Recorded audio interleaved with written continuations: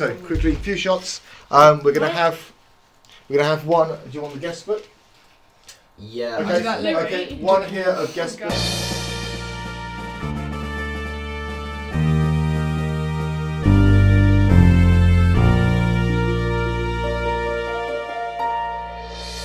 Starting off the news this week, a new paper published in the journal Astrophysical Journal Letters has revealed some incredibly interesting and potentially some dangerously exciting details about the exoplanet K2-18b. Using data from the James Webb Space Telescope, astronomers have discovered the presence of both carbon dioxide and methane in this planet's atmosphere, which lies about 111 light years away from Earth.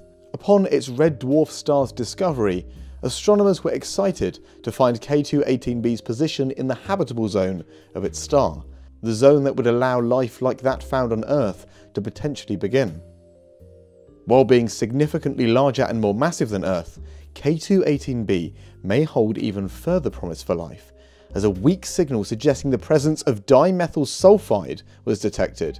Only future observations from the James Webb Space Telescope will be able to fully confirm this, and we tantalizingly wait until it does, for dimethyl sulfide is a molecule only found on Earth when it is produced by life. Mainly incredibly small organisms like phytoplankton, but life all the same. Of course, it would be impossible, for now, to assume that life certainly exists on this other planet just because of the presence of this molecule, and further confirmation would have to take place. That might take a while. And in other news, we head back to the developing story of the lifting of the whaling ban in Iceland. Since the ban was lifted at the very end of last month, three fin whales have tragically died due to whaling. The whaling ban was put in place in June until the end of August after reports that the fin whales were taking too long to die. Stringent new regulations have been put in place and, controversially, the ban was lifted. Two whaling boats went out to sea on Wednesday the 6th of September to hunt their first fin whales of the season, and the hunting was hampered by bad weather and fog, but despite this, they returned to shore on Friday with the bodies of three slaughtered fin whales. Due to more bad weather, the boats are not expected to go hunting again for a few days. The whaling season ends at the end of September, and the whaling licence runs out at the end of the year. The eyes of many conservation groups are on Iceland, campaigning the government not to renew the whaling quota, thus putting an end to this barbaric and outdated practice. And now over to Ben with the cow news. Thanks, Doug. First up in the paleontology news for this week, we have the naming and description of a new species of avialan theropod dinosaur from China. Called Fujianvenator prodigiosus, the rock formation that this animal comes from is actually very important, as it dates to the late Jurassic and has also recently been documented to contain an amazing diversity of vertebrate fossils that appear to have lived in a swampy environment. And the authors of this paper have named the fossiliferous horizons the Zhenghe fauna, Thanks to volcanic deposits in the formation, the authors were also able to use zircon uranium lead dating to estimate an age for the fauna of between 148 to 150 million years ago.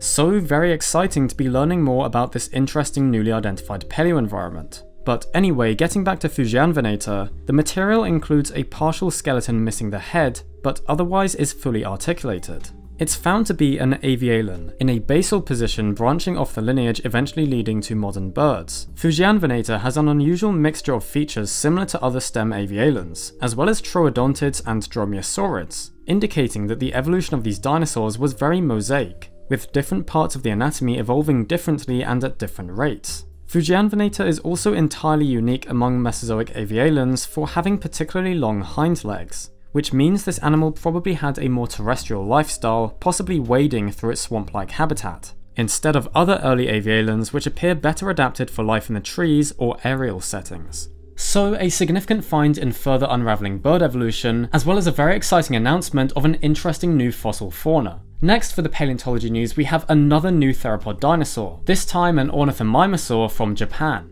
This new ornithomimosaur, the famous bird mimic dinosaurs, has a pretty awesome name, Tyrannomimus fukuiensis. The fossil material is not particularly extensive, but there's enough anatomical information preserved to recognise this as something distinct, and it seems the bones that have been recovered represent multiple individuals. It dates to the early Cretaceous and has been classified as a deinocheirid, the branch of the ornithomimosaurs including the wonderfully bizarre giant Deinocheirus mirificus. Due to its age, this would make Tyrannomimus the oldest definite Deinocheirid known, providing more information on the early evolution of these dinosaurs. The reason for it being named Tyrannomimus, meaning tyrant mimic, is due to certain features of the hip looking very much like a tyrannosauroid. The authors also explain that a dinosaur from the late Jurassic of Portugal, Aviatyrannis, looks very similar in many ways to Tyrannomimus, and so Aviatyrannis might not actually be a tyrannosauroid as previously thought, but instead could be the oldest known ornithomimosaur. This would then fill in an implied 20 million year long ghost lineage that exists between when the earliest Maniraptorans are known from the mid-Jurassic and when the first confirmed ornithomimosaurs appear in the early Cretaceous, as ornithomimosaurs would be expected to be found in the Jurassic. So some interesting implications for the evolution of these amazing dinosaurs, plus a cool new name to go with it. That's it from me for this week, back to Doug in the studio. Thank you, Ben. Well, that's it for this week's 7 Days of Science. I do hope you enjoyed, and as always, we'll see you on Sunday.